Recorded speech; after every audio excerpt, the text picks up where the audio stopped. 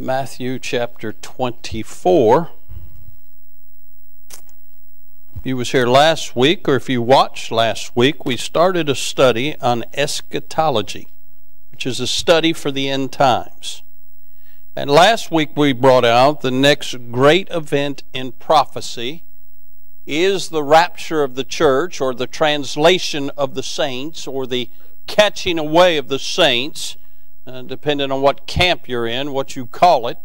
Uh, there folks won't call it the rapture because rapture is not mentioned in the Bible, but because we're caught up together, they'll call it the catching away of the saints. Uh, even though all three terms are uh, implied by the Bible, uh, but the rapture or the catching away of the saints is uh, the next great event. We brought that out.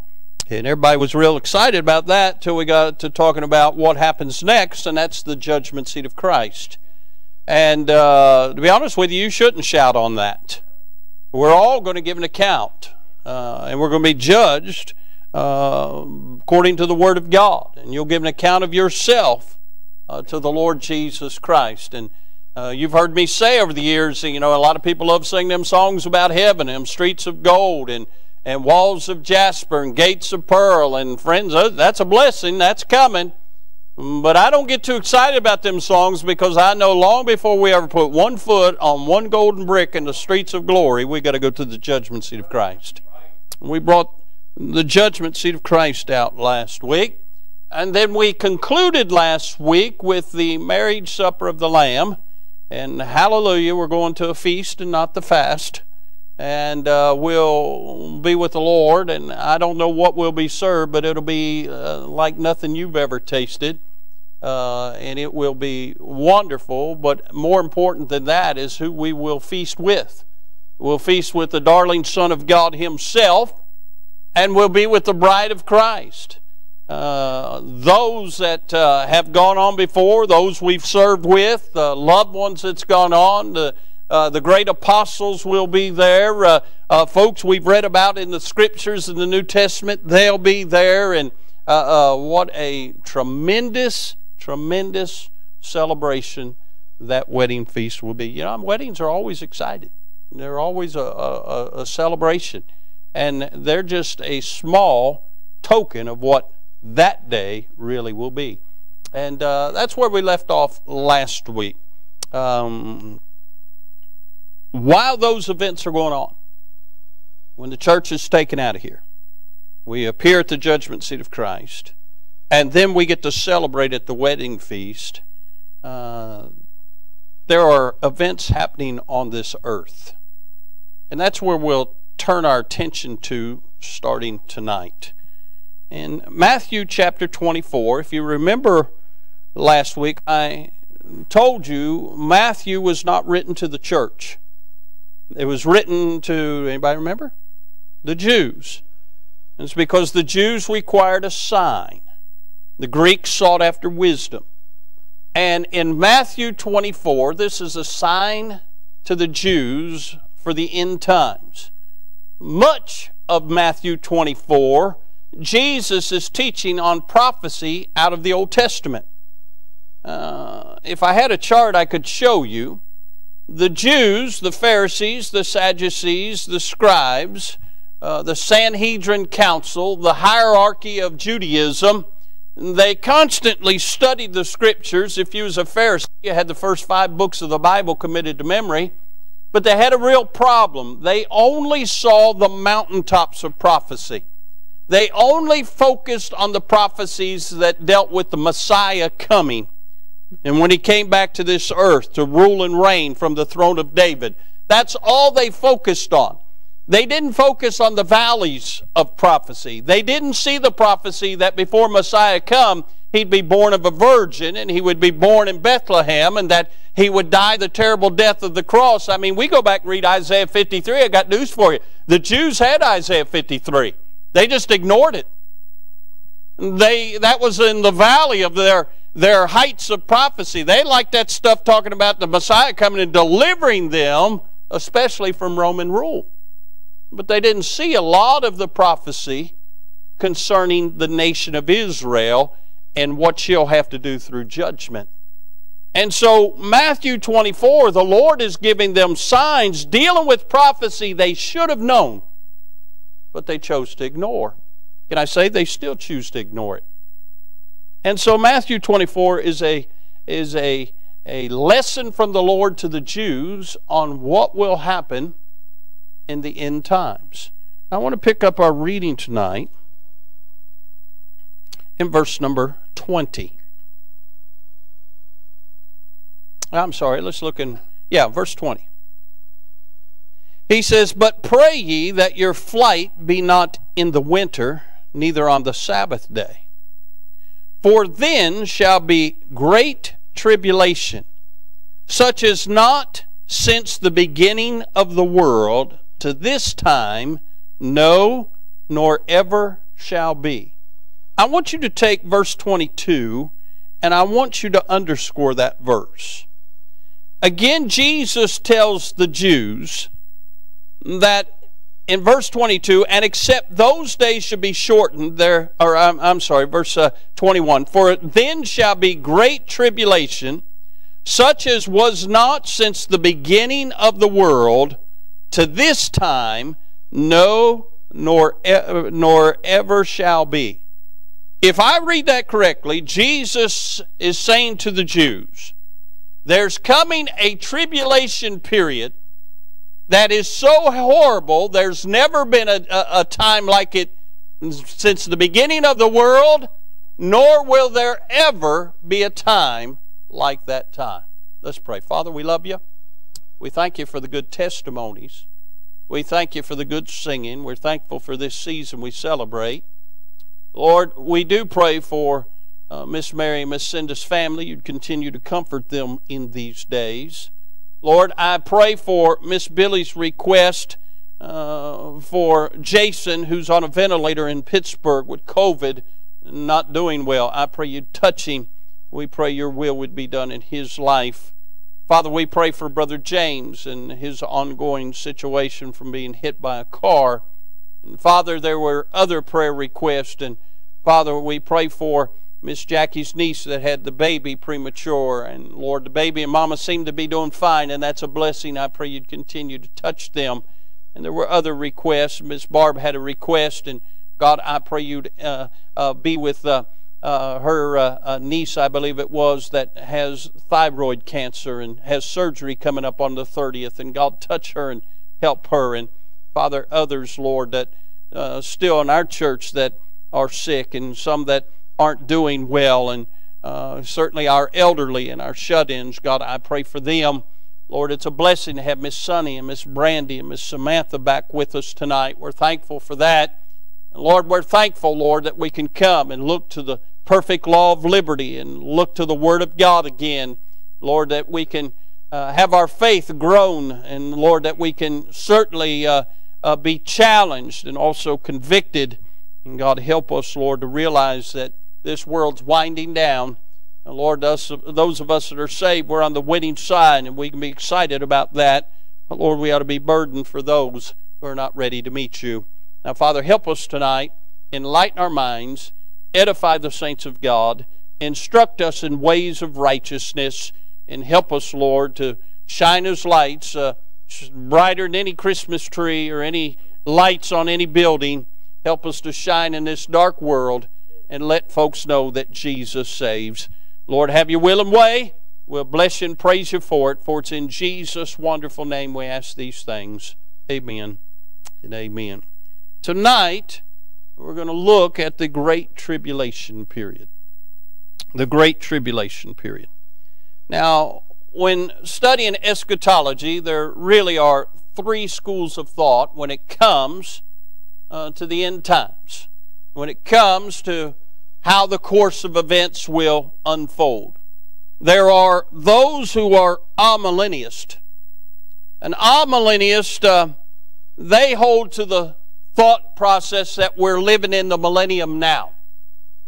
They believe that there is no millennial reign of Christ.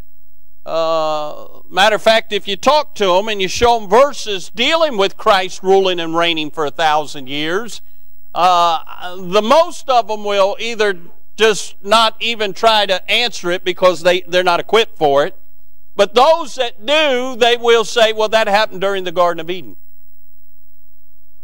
I don't read anywhere in Genesis chapter number 2 or 3 where Jesus came and sat on the throne of David for a thousand years during the Garden of Eden. Uh, again, in our study, we want to make certain we rightly divide the Word of God. We just don't want to make something up and throw it somewhere. But amillennialists believe that we are uh, living in a millennium right now. They also believe in a general judgment. They believe that when Christ uh, comes back, He's just going to judge everybody at the same time. Yet, we brought out last week there's a judgment seat of Christ. There's also the great white throne judgment that we'll get to and discuss. Uh, can I say in Matthew 25, we find that Jesus is going to judge the nations when he rules and reigns from the throne of David. And to be honest with you, there are five judgments. Mm, there's not one general judgment. And so they're, they're off on their theology. Uh, most uh, uh, uh folks don't understand, but uh, Martin Luther the reformer, was an amillennialist. And most of the Protestant churches that came out of the Reformation taught amillennialism. Uh, Catholicism, Catholics tend to be amillennialist. Uh, and so do most missionary Baptists and most free will Baptists.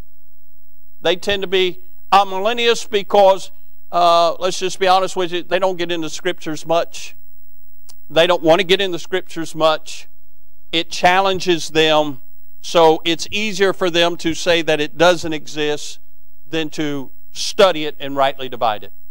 If you go in most missionary free will Baptist churches, uh, they'll read a text and then they'll they'll spit and slobber and hoop and holler and amen themselves for about 20 25 minutes never say anything but they had a good time because emotionally they felt good for being in church uh, they too, like many uh, Pentecostal churches, most of everything is geared toward the singing, emotionalism, the preacher being loud and spitting, slobbering, not in the content of what he says. Matter of fact, most missionary and free will Baptist church believe the preacher can't preach with notes. They believe he needs to be like Peter on the day of Pentecost, open his mouth and God fills him. Yet they don't study the scriptures where Paul told Luke to bring the parchments and they don't study the scriptures where it says, study to show thyself approved unto God, uh, and um, all kinds of things. So, anyway, they don't believe in using notes. Uh, a lot of them don't call Job Job, they call him Job. Because they don't study. They don't study at all. Therefore, when you challenge them, they'll get mad and upset, red in the face, and shut down.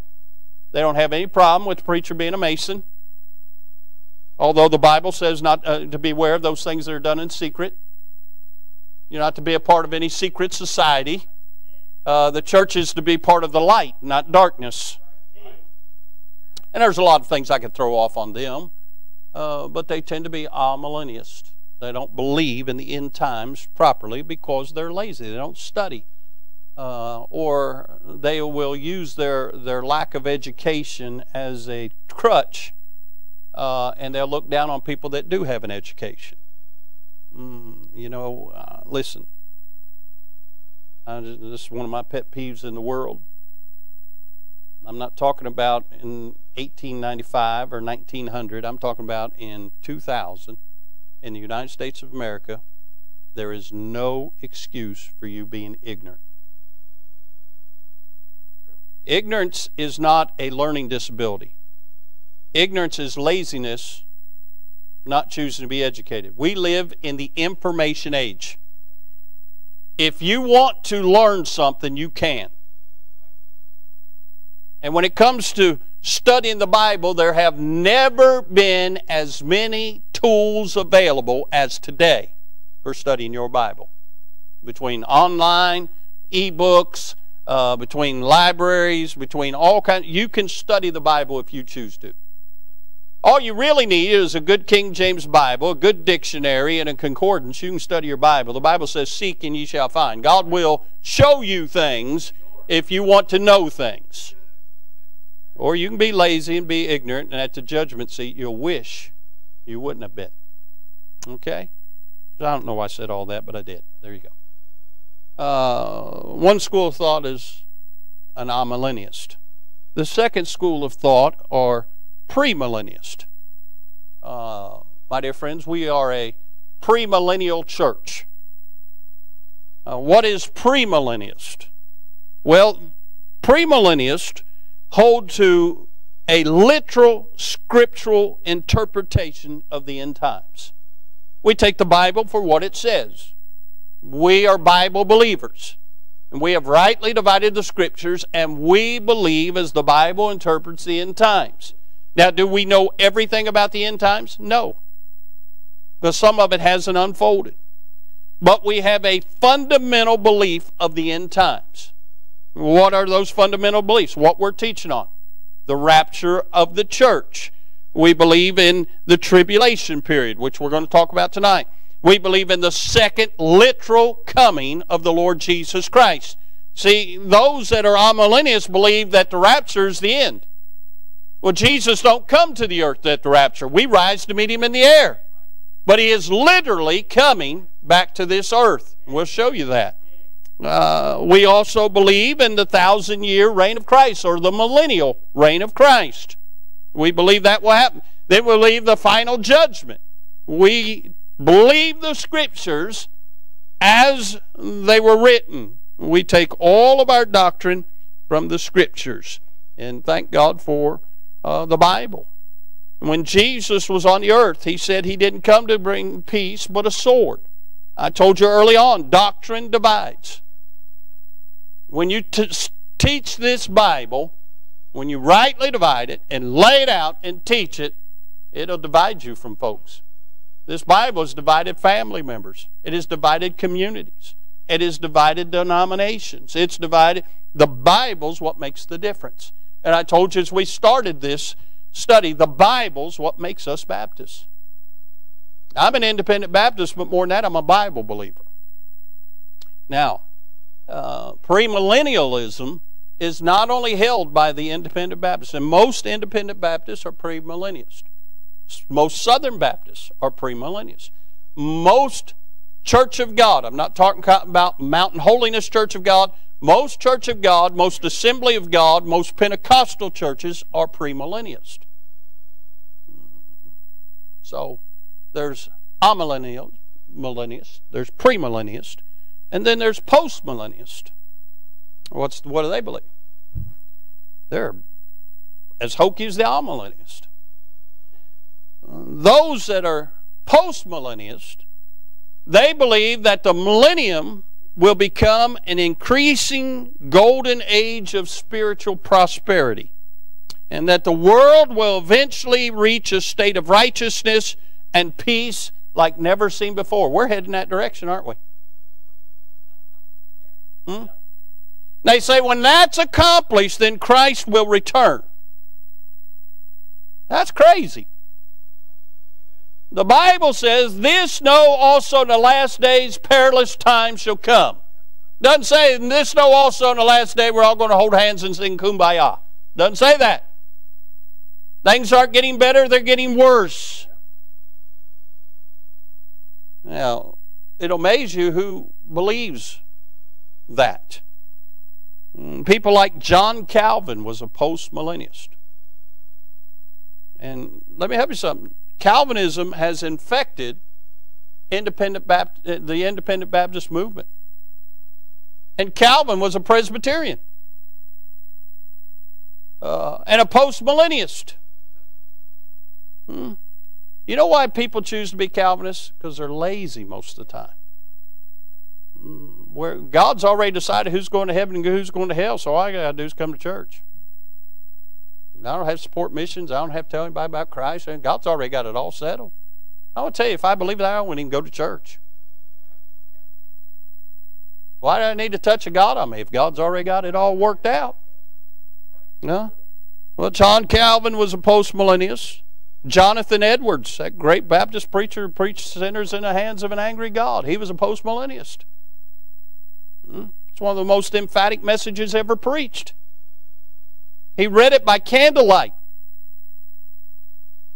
And literally, The whole northeast of the United States was affected. They said by the time the revival that broke out because that message ended, over a million people had gotten saved. Now, say, Brother Doug, if the guy was a postmillennialist, why did God use him? Because God winks at our ignorance. Hmm? It's not by our abilities, by the Spirit of God. And for such a time as this, God used that message and changed America. Can I say? Let me give you some others. George Whitefield, the great English preacher, was a postmillennialist. I've got the works of Whitefield. He was a Calvinist and a postmillennialist. Yeah, I knew Whitefield wasn't right with God when he went to South Carolina and said, said nobody could win these people. Only became the Bible Belt. Uh, been more churches planted out of the Carolinas than any other two states in this country. You know, so that lets you know he, he, he had some deep rooted problems. But there there are literally a lot of folks who are post millennials. Those were just a few. All right? Uh, and then there's one more school of thought.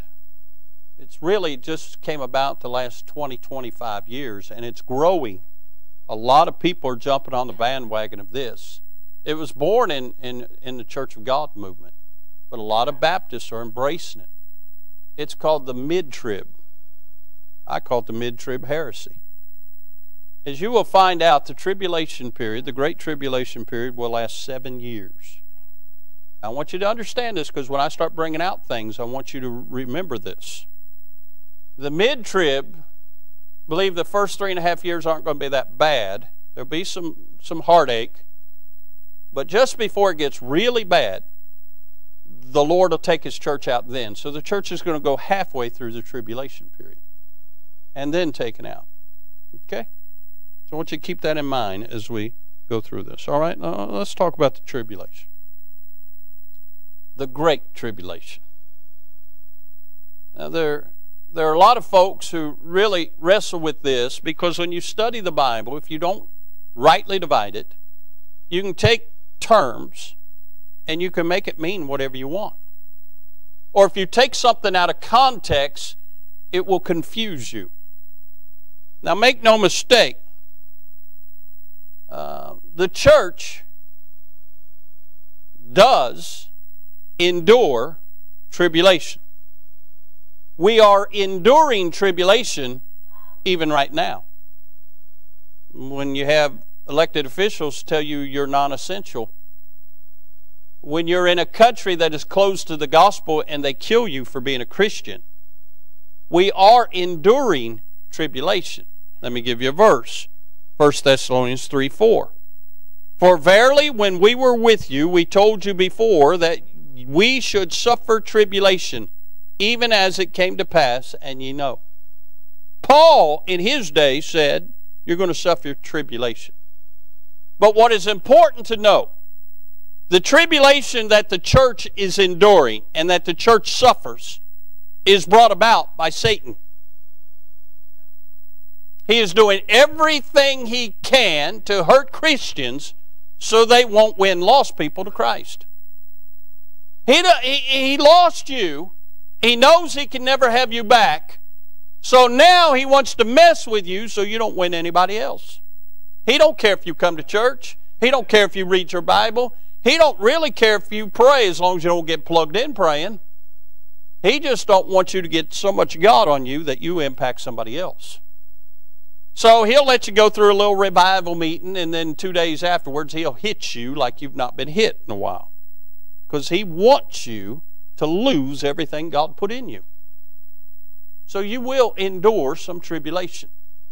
You will endure some hardship. Why do you think Paul told us to endure hardness as a good soldier of Jesus Christ. The church does suffer tribulation, but we're not in the great tribulation. As we brought out in Matthew 24, the Lord is talking to the Jews. We endure tribulation. The Jews will have tribulation. Our tribulation is brought about by Satan. Their tribulation will come from God. There's a big difference. A big difference. So, with that in mind, let's look at the Jews and the Great Tribulation. What are they suffering? What are they going through? What are they going to have to face from God? Listen, I don't like having to deal with the devil. I don't like having to go through hardship. I don't like it when public officials tell us that they don't care what the Constitution says, we're not allowed to have church. I don't like when we hear of folks being imprisoned for their faith. That all comes from Satan. I don't like it. But I'd sure rather deal with that booger than have Almighty God against me. John chapter number 1, I believe it's verse 14, tells us the Lord came unto his own, and his own received him not. But as many as received him, to them gave he power to become the sons of God, uh, even to them that call upon his name. I think it's verse 12. Uh, I say that because he came to his own, the Jews. You remember what I said? They were looking for Messiah. They wasn't looking for a guy that came out of Nazareth uh, doing a lot of miracles and telling them they needed to repent. They didn't like that. They didn't mind John the Baptist. They'd go down and get baptized. But they didn't like it when Jesus started telling them what their thoughts were. When Jesus started uh, uprooting all of their traditions that weren't scriptural. They didn't like it. They didn't like when Messiah came. He came to his own. They said, No, we don't want you. His own received him not. But as many as would receive him, hallelujah, that's us. To them gave he power to become the sons of God, even to them that believe on his name. So we're in the family of God, but those Jews rejected him. There's a price for that. Now, let me qualify this. Even though we're the bride of Christ, even though we're saved by the blood of Jesus, even though we're going to New Jerusalem, the Jews are still God's chosen people. But God's not pleased with them. So God's going to purge them. And He's going to purge them with a seven year period called the Great Tribulation period. Now, again, look at verse number 21. For then shall be great tribulation, such as was not since the beginning of the world to this time, no, nor ever shall be. Jesus said, Y'all going to suffer. There's never been a time like it. Let me give you some verses concerning the tribulation and the Jews and how God will judge them and purge them. Jeremiah chapter 30, verse number 4 says this And these are the words that the Lord spake concerning Israel and concerning Judah. For thus saith the Lord, We have heard a voice of trembling, of fear, and not of peace. Uh oh. What about that crowd's always crying peace and safety? Hmm? Ask ye now and see whether a man doth travail with child. Wherefore, do I see every man with his hands on his loins as a woman in travail, and all faces are turned into paleness? Alas, for that day is great so that none is like it. It is even the time of Jacob's troubles, but he shall be saved out of it. Jeremiah calls it the time of Jacob's troubles.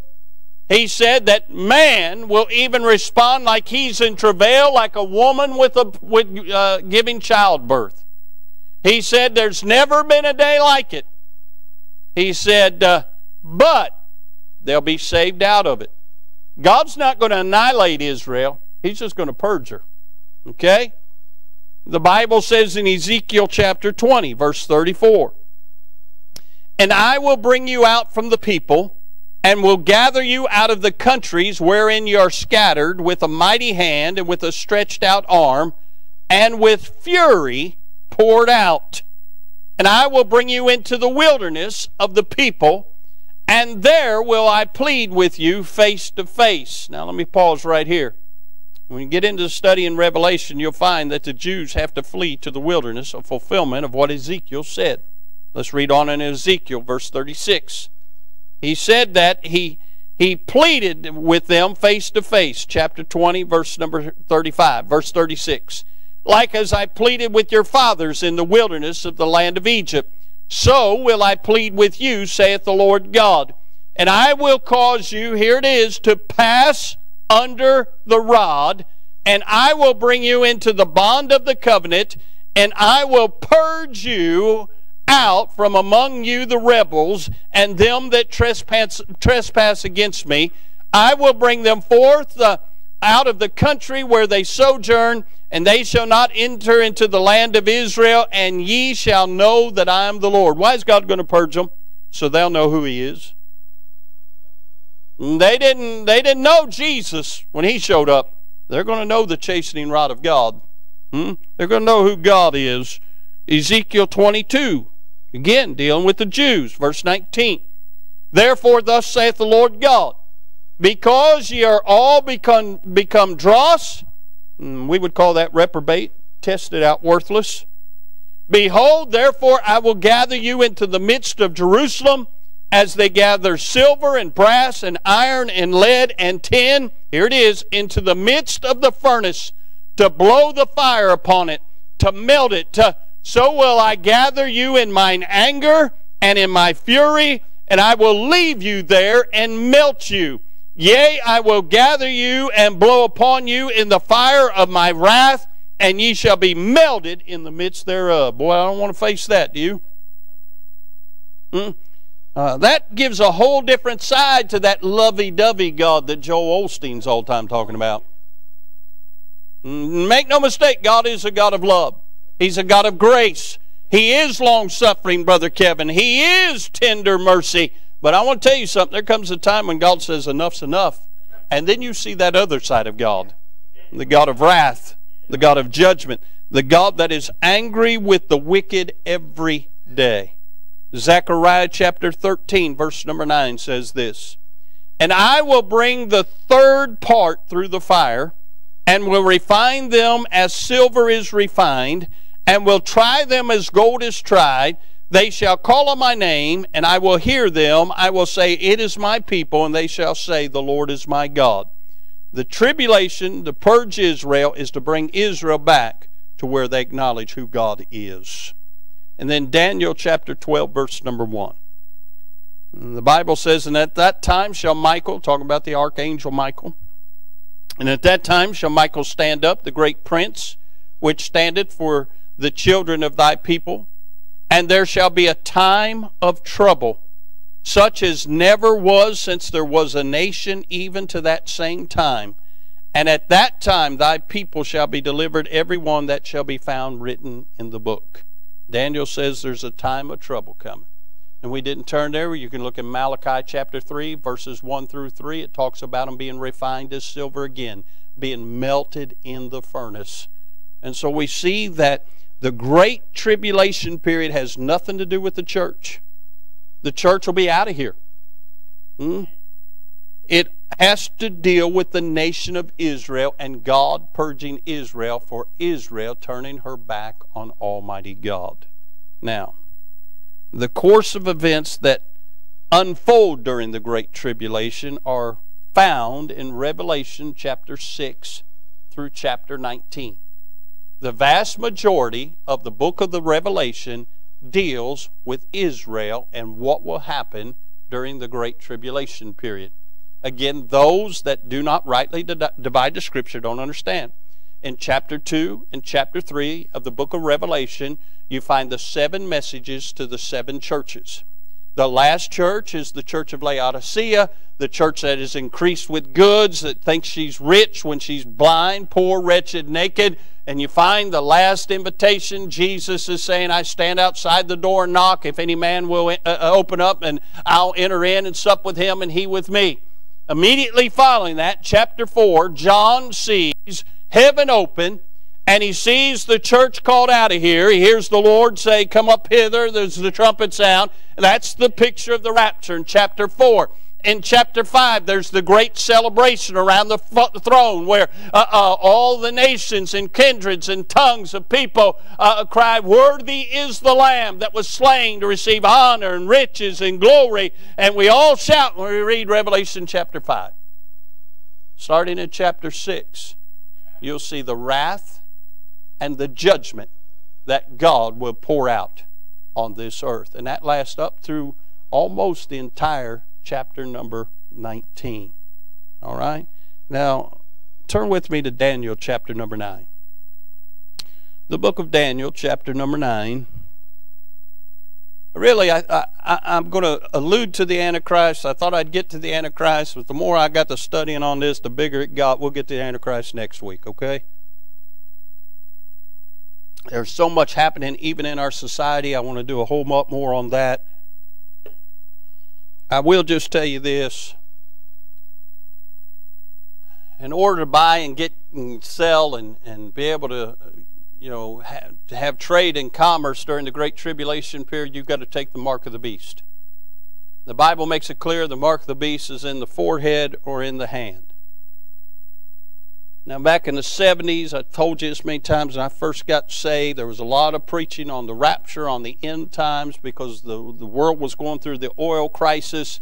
Uh, everybody thought for sure Henry Kissinger was going to be the Antichrist, and, and everybody thought this thing's in turmoil, and there was a lot of preaching on the end times. Uh, and as a young 10 and a half, 11, 12 year old boy, I'm thinking, who in the world would walk around with a tattoo on their head and on their forearm, or on their, on their, on their forearm or, or on their hand? Yeah. But nowadays, ain't no big deal. But see, there's been a lot of technology. It's not going to be a tattoo. It's going to be a chip. They started chipping pets about 10 years ago little Fido runs off, they can pull up and find out where Fido is. That worked so good that starting five, six, seven years ago, they started doing that to children. So many children ended up on milk cartons. Well, you can have a chip implanted into your child, and if somebody abducts your child, we can find them in a matter of minutes. You remember Adam Walsh, what happened, and you know, all that went on, and everybody scared to death your child was going to get abducted, and, and folks started having their children chipped. Our military personnel have been chipped for a long time. If they get killed behind enemy lines, we know where to find their body. They've been chipping people for a long time. I find it amazing that in the current pandemic, that Bill Gates, the great scientist and doctor that he is, wants to develop a vaccine that, that chips everybody so we can know if you've been vaccinated or not, so I can know if I need to be around you or not. And also, all your records could be put on that chip. You, you know how much information they can store on a microchip? My dad was a computer programmer for 30 years. He started out when computers started out. He told me when they went to 4K memory, they thought they were in heaven. I remember going to work with him as a kid, and the computer took up a whole room. When I got my computer programming degree and they brought out the microprocessors, which you and I would know today as a PC, I thought these things never take off. They're too slow. Boy, I missed the boat on that. I remember nine and a half inch floppy disk. The printer had big rolls of paper. It had lines all over it. I remember all that's what I that's why I studied computers. Why I'm ignorant today. I don't know all that stuff. Do you know the room-filled computer that my dad worked on that ran GE, where Peter works, because he worked there for a long time. Ran uh, uh, uh, Cincinnati Bell West out and out in Omaha and all over the country. All those computers. Do you know that phone you got in your pocket is more powerful than that computer that used to take up a room? Do you realize that phone is so powerful because it has microchips in it? Stores all that information and they want to put all your medical records on a microchip inserted in your body so they don't have to make sure Epic's up and running and everything. They can just scan you, know all about you. You're in a car wreck, they'll scan you, know all about you, know what you're allergic to, know everything about you. Pull up your records right now. Boy, it makes sense to the natural man. Do you know why they're calling for folks to stay six feet apart in social distancing?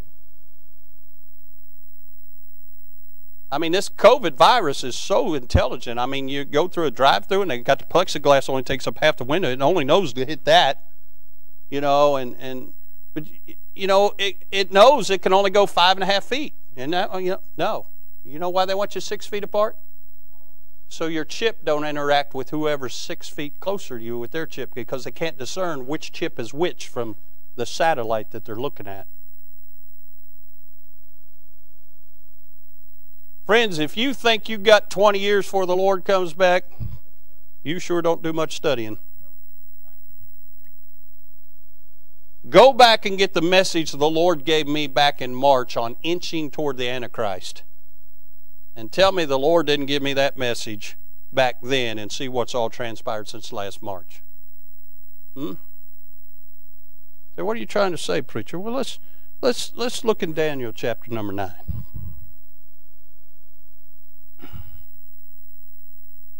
We're talking about the great tribulation period tonight.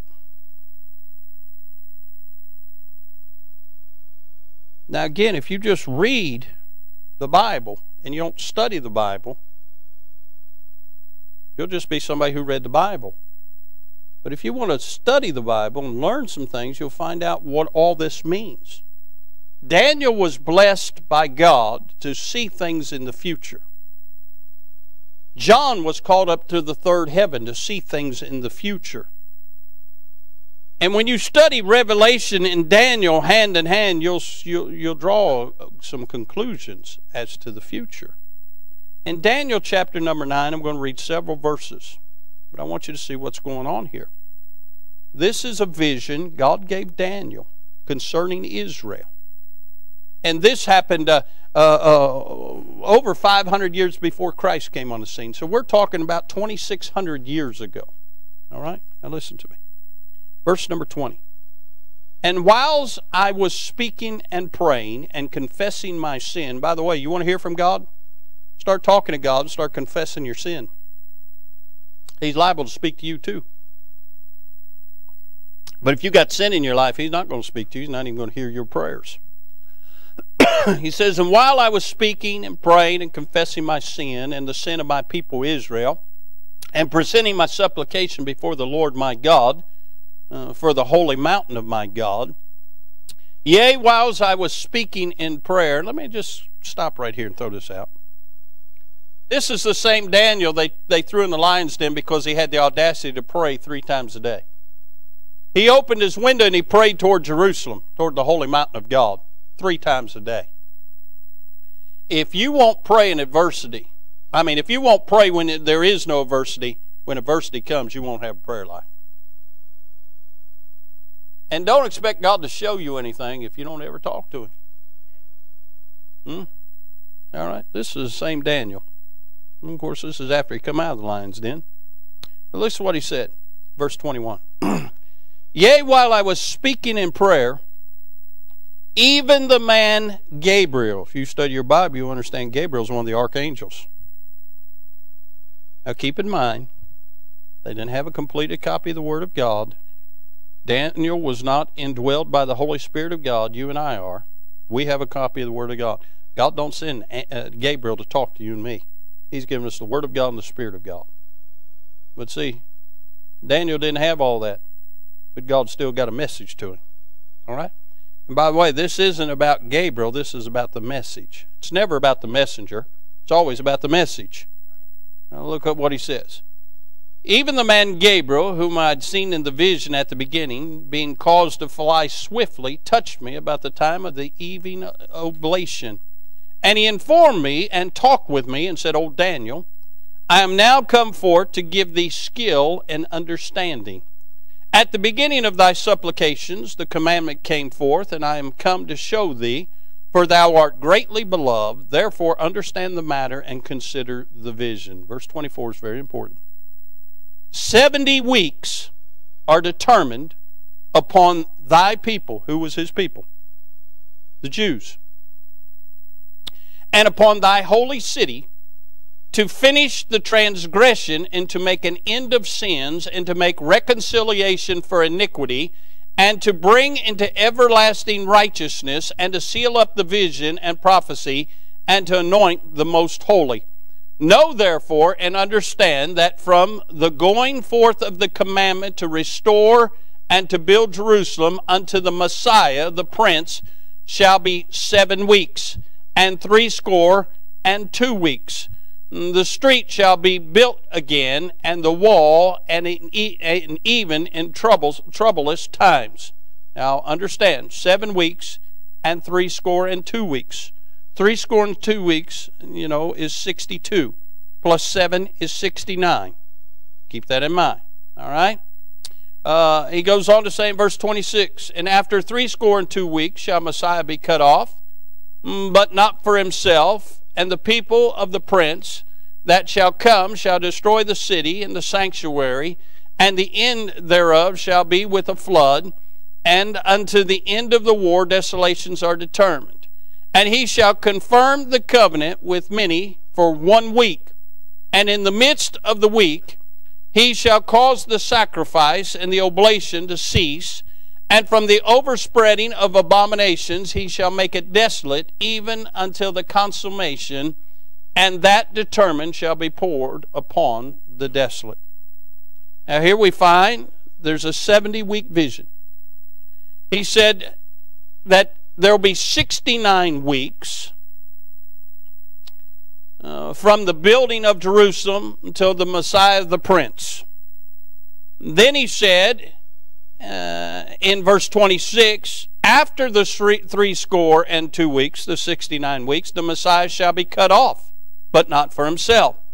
And he goes on to say that the city and the sanctuary shall be destroyed. Then he goes on to verse 27 and says, uh, uh, There be a covenant with many for one week. And in the midst of the week, he shall cause the sacrifice and the oblation to cease. Now, let me put all that in perspective for you. One week here means seven years. If you go and you do the math, seven years for the 69 weeks, from the time Daniel got this vision until Jesus rode the colt into Jerusalem four days before they crucified him is exactly 69 weeks. Then it said the Messiah be cut off. He was crucified. Then he said the city and the temple would be destroyed. And it was. And then he said there'll be a week. he said in that week it'll, it'll, how did they put it? In verse 27. In the midst of the week shall he cause the sacrifice and the oblation to cease. Now we're talking about a week, seven years. The 69 weeks came to pass with Jerusalem, with Israel, and Israel didn't become a nation again until 1948. The week that it's talking about, verse 27, is yet to come to pass. That week is referring to the Great Tribulation period. And he said, In the midst of the week shall the sacrifice and oblation end. That seven year period is divided into two periods. I'll get to that in a second. All right? So we see Daniel's 70th week vision, the 70th week, hasn't come to pass. That is the time of Jacob's trouble. That is the time that in chapter 12 is a time of trouble. Okay?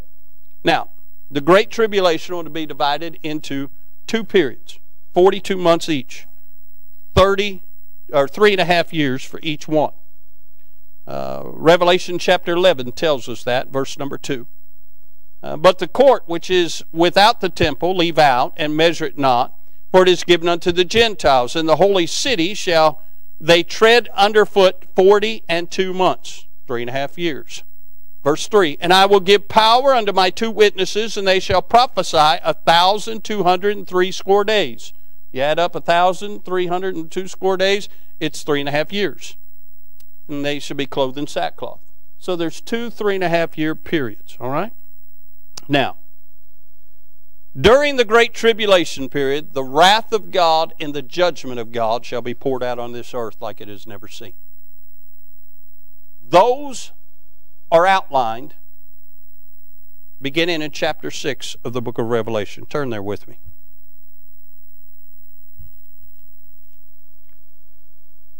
There are seven seals to be broken and seven trumpets. The wrath and the judgment of God are represented in these seals and these trumpets. I'm not going to read all chapter 6, not going to read all the, but I'm going to show you these seals and what they represent and what will happen.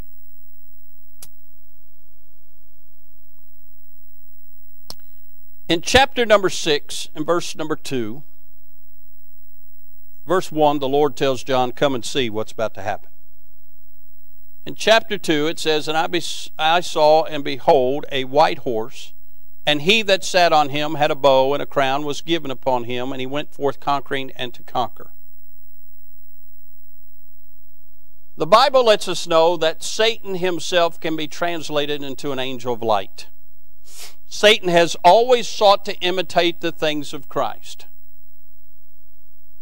Jesus is the bright morning star. Satan's referred to as the son of the morning.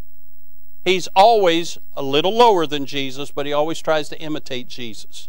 The Lord has a church and a bride. Satan is working on his church and his bride. By the way, does anybody remember who Alice Cooper was? Tommy, raise both hands. Alice Cooper was a what we used to call a hard rock and roll singer. He sang hard rock, acid rock. Uh, most people don't listen to Alice Cooper was high on something. Okay? Alice Cooper was evil. I know that because he sang with a boa constrictor around his neck. You know how I feel about snakes. Anybody that gets on a stage with one wrapped around his neck and that thing doesn't strangle you, you're a devil. Okay? Just thought I'd throw that out. I got in the truck today to leave church, go to the house for a little bit, and and I had the radio on when I clicked on the thing, and and all of a sudden there's a commercial advertising some new streaming outfit, you know, about eerie stuff and weird people, and Alice Cooper is on there. And Alice Cooper said this. He said, I don't believe in ghosts. He says there's no such thing. He said, There are demons who portray themselves as ghosts because the devil has always tried to imitate something else that is acceptable. Now, when a fellow who is a devil worshiper tells you something about the devil, you better pay attention. Now, what amazes me, there are many Christians who believe in ghosts but don't believe in demon possession. Here's a guy who's possessed that tells you there's no such thing as ghosts, but demons who are acting like ghosts. You ought to pay attention to that. Hmm? All right.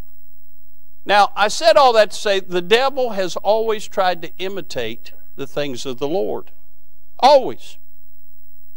You've got to be careful when you read after commentators. Commentators many times use human reasoning to give you definitions of Scripture. Again, the best commentary on the Bible is the Bible itself. In Revelation 19, when we get to it, we talk about the second coming of the Lord, He's coming back on a white horse. You and I that are saved, we're coming back with Him. We're going to be on a white horse too. Hi ho, silver, here we come. Okay? And we'll show you all that in the Scripture. When the Lord comes back, He's going to have many crowns on His head. And He's coming back to put an end to the battle of, the, of Armageddon, which we will get to, when He will destroy all the nations fighting against Israel. He's coming to conquer. So if you, as a natural man, read verse number two, you see somebody on a white horse with a crown who's coming to conquer, and there are commentators will tell you that's the Lord Jesus. They're wrong. Makes sense to the natural man. That fellow on that white horse with a crown, with a bow, who's coming to conquer, is the Antichrist. The Lord is not coming back at the beginning of the wrath to witness it all. The Lord is coming back to end it all. The one who is coming who will institute the wrath is the Antichrist. Now, notice, if you will, uh, what happens. We find in verse number 4 It says that there went out another horse that was red, and the power was given to him that sat thereon to take peace from the earth, that they should kill one another, and there was given unto him a great sword. We find that when this seal is broken, war is going to break out amongst the world. Now, again, in Matthew 24, a sign to the Jews, the Bible says this in verse 6 And ye shall hear of wars and rumors of wars.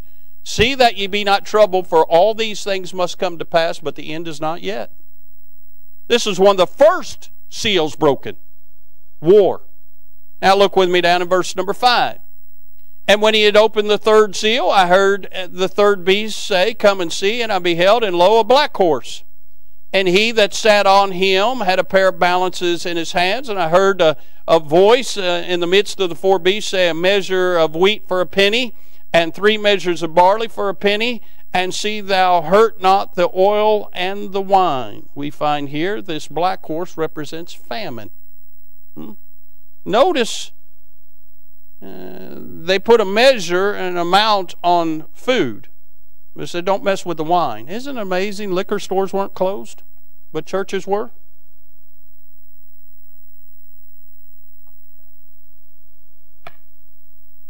I just find it amazing. Just a coincidence. That just just just happened to happen. Hmm? Can I say it's easy to control people as long as you make sure they're addicted to something? Addicted to fear, addicted to drugs, addicted to money, addicted to filthy lucre, addicted to peace. You get people where you can control them, they'll do whatever you say. Just throwing that out, huh? You know why they didn't close the alcohol, the liquor stores? Because they knew people would go insane without their booze. They knew they'd have a real epidemic in America. They knew they didn't have the hospitals to put people detoxing. Just thought I'd throw that out there. Okay.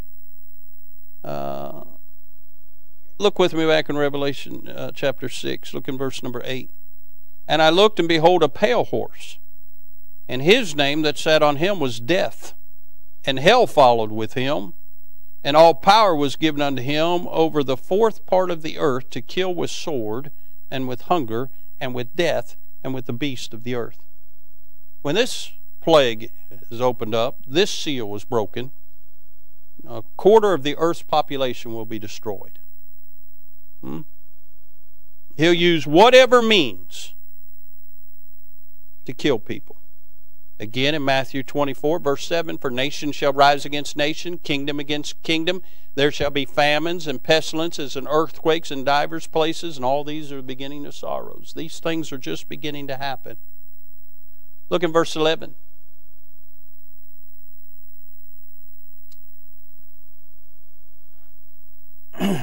we find the fifth seal is broken up. Verse 10 And they cried with a loud voice, saying, How long, O Lord, holy and true, dost thou not judge and avenge our blood on them that dwell on the earth? And white robes were given unto every one of them, and it was said unto them that they should rest yet for a little season until their fellow servants, also their brethren, uh, that shall be killed as they were, should be fulfilled. Mm, this seal is martyrs. Now, these are not the martyrs that happened in the early church age. These are people that will be killed during the Great Tribulation period. You remember a minute ago I told you in order to buy and sell and get gain, you had to have the mark of the beast? If you don't have the mark of the beast, you're going to be hunted down and killed. You will be deplorables. You will be the offscour of the world. I don't want to get ahead of myself with the Antichrist, but do you know, really, between here and Indianapolis, there's a, a, a dog racetrack out there, and there's a National Guard Readiness Center uh, on 74 just before you get to Indianapolis out there. Do you know behind that racetrack out there, there's Black Hawk helicopters fly over all day long? Do you do you know they are they have concentration camps there? Now, why would they have to put people in America in concentration camps? Could it be folks that refuse to take a, a vaccine? Could it be folks that refuse to take the mark of the beast? Hmm? By the way, how's that buying ammo working for you? You know why America's never been attacked on American soil other than 9 11? Because they know every redneck's got, got weapons. The Second Amendment allows us to call for a ready militia at any time. What good's a gun if you don't have any ammo? It's a paperweight. Deputy Foster's here. Ask him. The sheriff put in a big order back over the summer. They told him he can't get it till next September. That's the police.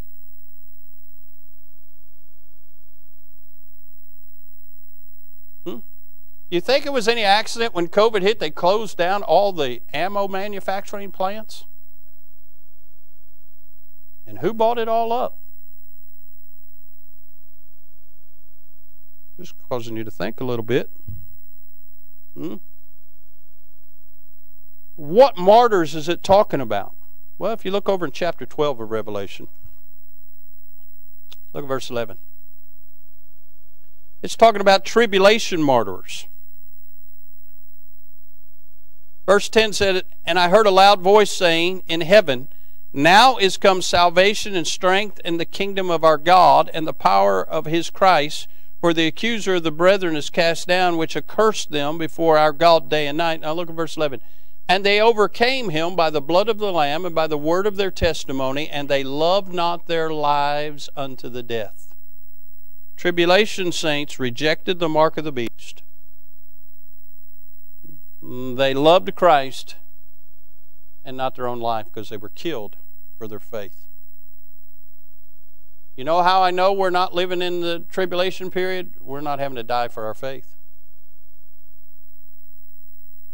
We were told to go on live stream, and there are some people that still haven't come back to some churches. That's not persecution. Hmm? Look with me in verse number 12. It said, I beheld, and he opened the sixth seal, and lo, there was a great earthquake, and the sun became black as sackcloth uh, of hair, and the moon became as blood, and the stars of heaven fell into the earth even as a fig tree casteth, casteth her untimely figs when she is shaken in the mighty wind. And the heaven departed as a scroll when it is rolled together, and every mountain and island were removed out of their places. Uh, and the kings of the earth, and great men, and rich men, and chief captains, and mighty men, and every bondman, every man, and, and every free man hid themselves in dens and in rocks and in mountains, and said to the mountains and rocks, Fall on us and hide us from the face of him that sitteth on the throne and from the wrath of the Lamb. The sixth seal shows there'll be total chaos. All the elements of nature will be unleashed earthquakes, hailstorms, sandstorms, tornadoes. Uh, that will all transpire because the sun and the moon are darkened. You do know that the tidal waves and all that is affected by the, the lunar, the moon. And all that's going to th- be thrown out of, out, of, uh, out of course. And then it talks about uh, uh, hail falling from heaven, and, and it's talking about meteors are going to start hitting this earth. This thing is absolutely uh, going to be in total chaos. So much that from the most noble to the biggest pauper, they're all going to run and hide themselves in caves and dens. Flee from the wrath of God. It's coming. Now, a lot of these things are already being portrayed on Hollywood to desensitize people to them. You know, I love that movie Independence Day. Hmm? I love that movie. At the beginning, you know, when when them aliens start showing up, big gigantic meteors start hitting New York City and everything. Everybody's freaking out. What in the world's going on? It's all just desensitizing people. That something out of their control is happening. All right? Uh, look with me. I don't have time to get in chapter 7. Maybe we'll look at chapter 7 next week. I've, I've rambled way too much. Chapter 7 shows people that will be saved out of the tribulation period. We'll get into this next week because if somebody's heard the gospel the Bible says God will bring strong delusion on them to where they'll believe alive. If they've heard the gospel and rejected Jesus Christ during the church age, then they'll have no chance of being saved during the tribulation period. They'll take the mark of the beast, they'll be damned. But there's a lot of folks that haven't heard the gospel. There are whole nations with billions of people that have never heard a clear cut presentation of the gospel. God, being a just God a righteous God, will give them an opportunity to trust in Christ.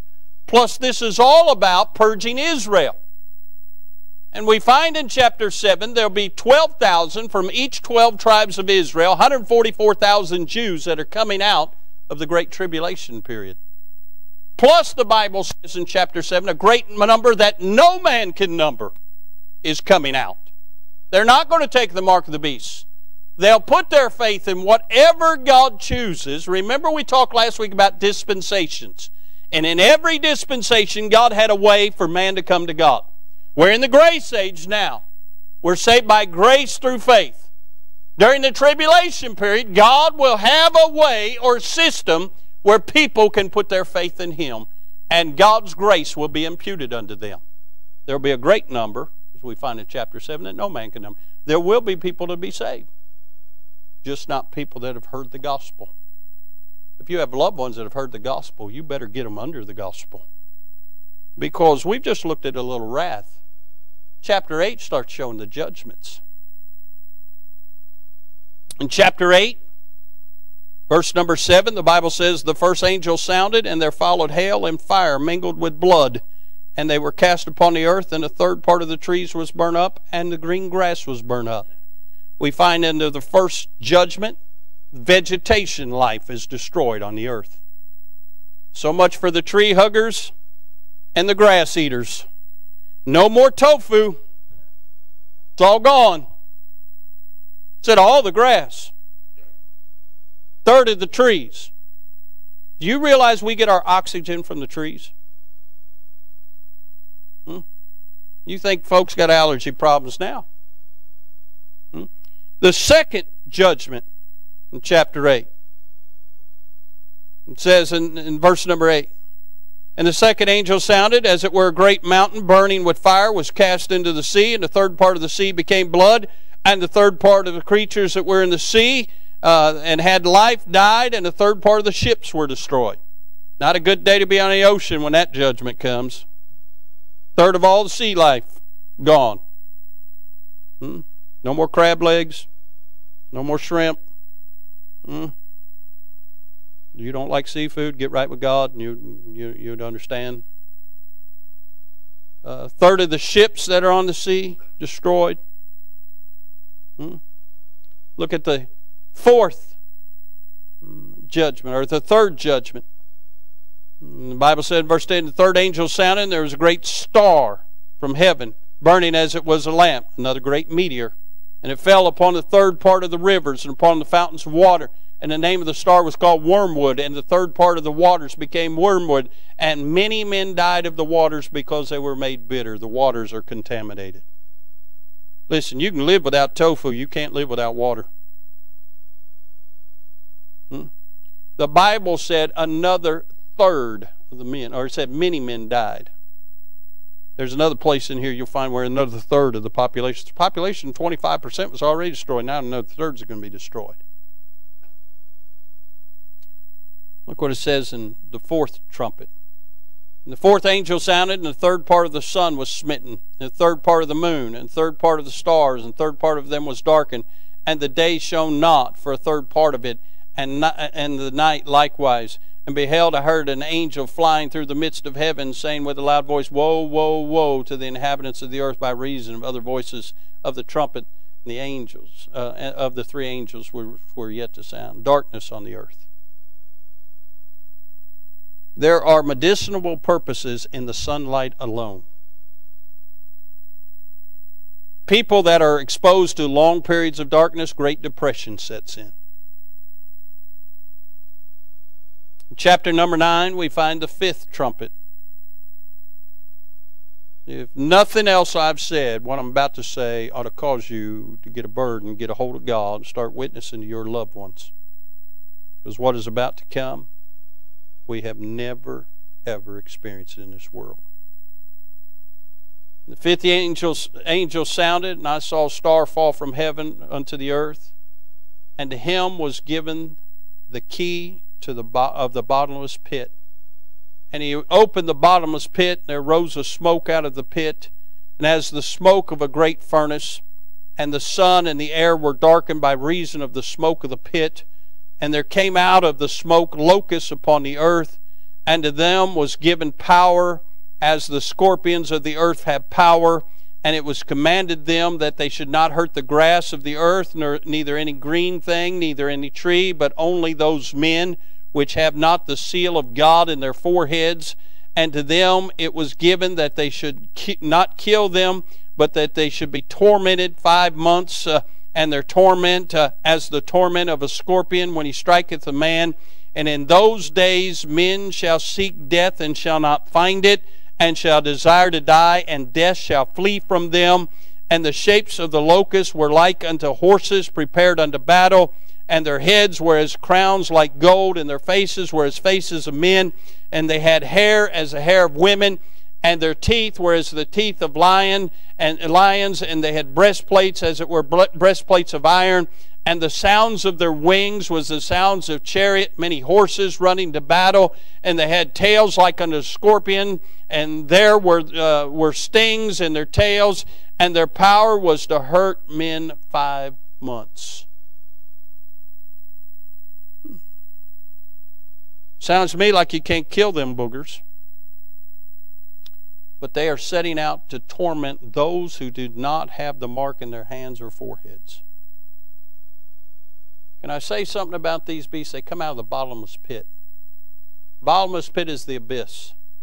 Remember when Jesus cast those demons out of that man, referred to as legion because he had many demons? And they, they bid Jesus not to cast them in the pit, but to cast them into the swine, and then the swine violently ran and hurt.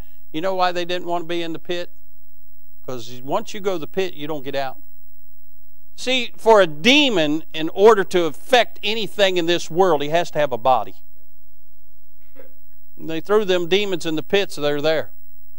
These are demons dressed like some kind of supernatural scorpion that are going to inflict pain and punishment. And do you notice that it said these demonic locusts hit these people and they didn't die? Death was removed. Sometimes death would be a blessing. How many times have you said, Boy, I don't want to see my loved one suffer? These people suffer like suffering we've never heard of. Now look at verse 11. And they had a king over them, which is the angel of the bottomless pit, whose name in the Hebrew tongue is Abaddon, and in the Greek tongue hath his name Apollyon. Abaddon and Apollyon mean one thing destroyer. You know what destroyer is another name of for? Satan. That's their king. Hmm? Let's finish up these last two trumpets. We'll close this thing down tonight. I know I've been long, but there's a lot of information. Verse 13 And the sixth angel sounded, and I heard the voice from the four horns of the golden altar which is before God, saying to the sixth angel, which hath the trumpet, Loose the four angels which are bound in the great river Euphrates and the four angels were loosed, which were prepared for an hour and a day and a month and a year for to slay the third part of men. And the number of the army of the horsemen were two hundred thousand thousand. And I heard the number of them. And I saw the horses in the vision, and them that sat upon them having breastplates of fire and of jacinth and of brimstone, and the heads of the horses were heads of lions. Uh, and out of their mouth issued fire and smoke and brimstone by these three was the third part of men killed by fire and by smoke and by brimstone, which issued out of their mouths. These are wicked angels. These wicked angels are bound under the great river Euphrates. If you look at great river of Euphrates up, it is referring to the bottomless pit. These angels, these wicked angels, have been bound in the bottomless pit. Now, we, and we'll get to it, we'll see it. Satan's going to be bound in the bottomless pit for a thousand years during the millennial reign of Christ. Once you're bound there, you don't get out, but they're let out. Just like Satan will be let out for a season. We'll bring that out. What are these great wicked angels? I don't know. They could have been those angels because Jude tells us about some who are reserved to the day of judgment. It could have been those wicked demons that had relations with women back in Jeremiah, uh, uh, back in Genesis, and uh, their relations brought forth giants in the land. I don't know. But those, those, those demons were bound in the bottomless pit. These wicked demons are unloosed. And it said, with 200,000, that means an unlimited number of other demons come with them. And they're going to destroy another third of the population of the earth. Friend, we got to reach folks with the gospel. This is coming. It's on the horizon. Somebody's got the key to the chains of these in the bottomless pit, about ready to put it in the lock and loose them. The final trumpet of God's wrath you'll find in chapter number 11, the last verse, verse 19. And the temple of God was opened in heaven, and there was seen in his temple the ark of his testament. And there were lightnings and voices and thunderings and an earthquake and great hail. You see God's wrath poured out in its fullness in the seventh trumpet. I say all that to say this the seven seals and the seven trumpets are all unleashed in the first three and a half years of the Great Tribulation. And for the mid trippers who say that we'll be here through all that, they're lying. God has delivered us from that mess. It's one of the benefits of being saved by grace. We're taken out of here before all that mess comes out. Next week, Lord willing, We'll study in great detail the Antichrist. We'll study uh, his characteristics, what the Bible says about him, what was prophesied about him, what Daniel said about him, what Paul said about him, what Revelation reveals about him. We'll look at this booger, and I'm convinced somewhere on this earth he's alive. Now, let me say this, and I'll be done. There are forces in this world that run this world that you've never heard of. There is a secret society called the Illuminati. And every major player behind the scenes running the world is a part of the Illuminati. They're the ones who pick who's going to be the president. They're the ones who pick the leaders of Europe. They're the ones who designate how this earth's going to be run. And they're the ones behind trying to steal this election. The American people aren't for what the Illuminati's for. And if you think Biden's going to be president, you're crazy. Even if they give him the office, he's not going to stay there long. Because the one the Illuminati wants could have never gotten elected by this crowd, the American people. I'm just trying to tell you, this thing's coming to a close. In Daniel's vision,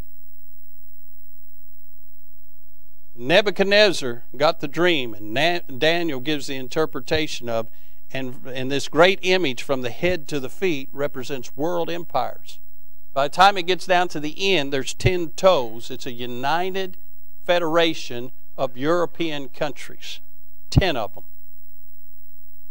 Make no mistake, with Brexit and all that's going on in Europe right now, and them against England and, and, and Greece's uh, economy falling, everything, all the dominoes are coming into place where there'll be a 10 kingdom federation which will uh, anoint the Antichrist as their king.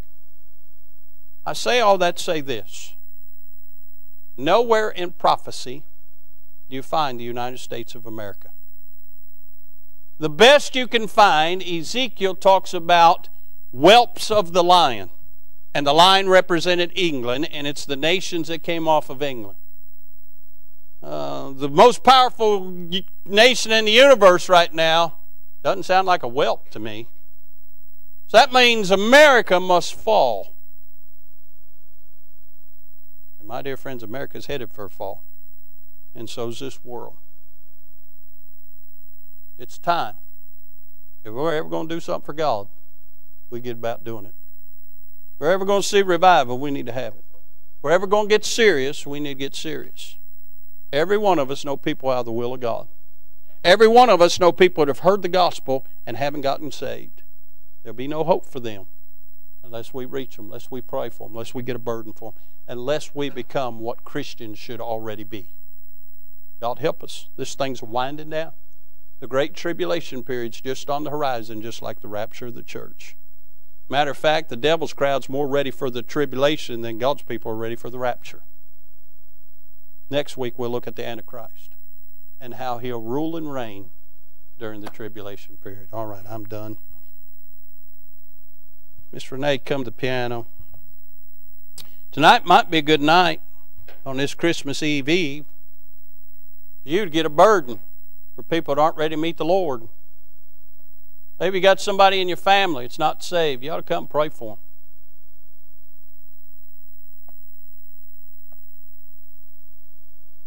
If God does not grant us another space of grace in America and Biden becomes president, I'm here to tell you the things we're talking about will come to pass much quicker than you could ever imagine. God help us get serious about the things of God. She's playing, folks are praying. Let's pray. Father, we bless you. Lord, these things are scary. Not for us as the child of God. We know we'll never experience it, but it's scary because we know people who are not ready to meet you. God, I pray, Lord, that we become more than essential I pray that folks would turn to the church as the only means of help in this dire world. Through the church, may they be introduced to Jesus, the way, the truth, and the life. God, I pray lives will be changed. Lord, just as they put that roundabout there and people just going around in circles, that's what this world is. Folks just going around in circles, not even knowing where they're headed. God, help us, Lord, to be revived. Break our hearts for sinners. Break our hearts for righteousness. Break our hearts to do business with God in such a way, like Daniel did, that we hear from heaven and we can impact this world. God, I pray for those that aren't ready to meet you. I pray for those that have heard the gospel and rejected it God, in your long suffering, you'd give them another opportunity. I pray for those that claim to be saved, but Lord, they just are really disenfranchised with the church and the gospel and the things of God. God, I pray you'd open their eyes. Help them to know that our salvation is nearer than when we believed, that there are souls in the balance. Bless now. Help these in the, in the, in the altar tonight. Get glory to your name. In Jesus' name we pray. Amen. Thanks to listeners like you, IBC has had over 100,000 views on our YouTube channel. If you haven't already, subscribe today. And as always, thanks for listening.